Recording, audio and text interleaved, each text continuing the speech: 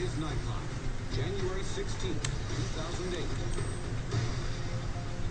Good evening. Tonight we're going to focus on a controversial and mysterious condition known as Morgellons. There are thousands who say they suffer from its bizarre symptoms, but there are many in the worlds of science and medicine who believe that it's all in the mind. Well, now the government has weighed in, acknowledging that people are suffering and accepting the need for proper scientific investigation. So the Centres for Disease Control today announced that it would begin a new in-depth study to try and explain this strange condition. My co-anchor Cynthia McFadden reports. When we first met Ann Dell, she lived on Florida's Lake Mary in an idyllic setting. Her life was once idyllic too. Her family had caught the tail of the American dream. Her three daughters were good students, good athletes, and good kids. Seems to be a pretty typical American family. Yeah. Girls play softball. They're very good athletes. One catches, one pitches. Cheerleading competition. Fourth in the nation. But life now in the Dill household is far from perfect. Ann's 40-year-old husband, Tom, died two years ago in January, and she believes his death was due to a contagious illness that has infected her entire family. Tell me what you believe is happening on your skin. It's like fibers that come out of your skin. Yes, there's this fibrous material. Um, it's in layers. Oh, look at your arm. Our hands Your hand. swell and they itch and It's been described as feeling as if either bugs are crawling on the surface of your skin or underneath your skin.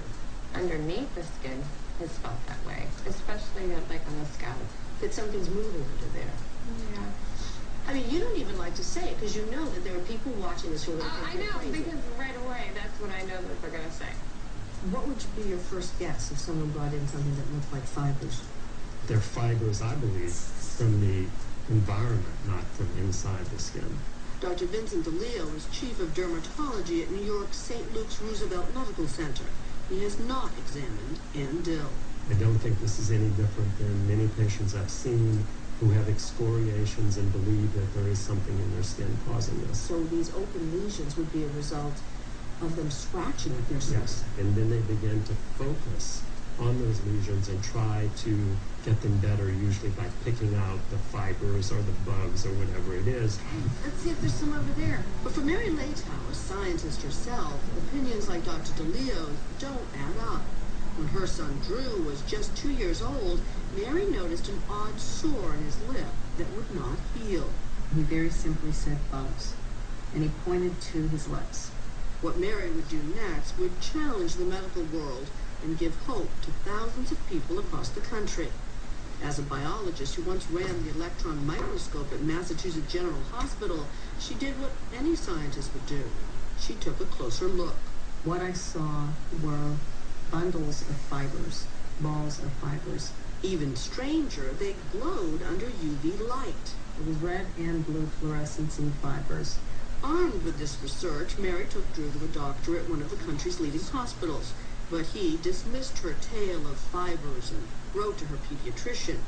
To basically say that my son needed Vaseline for his lips and that his mother, me, needed a thorough psychiatric evaluation. Instead of a psych evaluation, Mary began poring through the medical literature, looking for clues.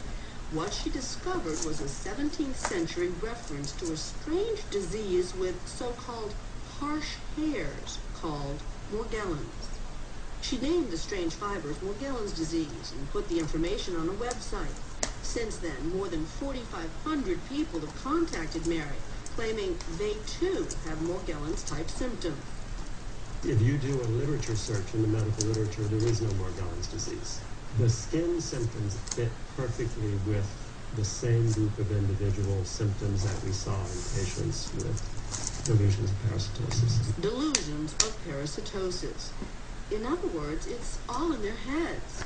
And despite today's announcement, many doctors remain skeptical that this is a real medical condition at all. They've pre-decided that, that these symptoms are too impossible to be real, so they've come to this conclusion that it's a delusion.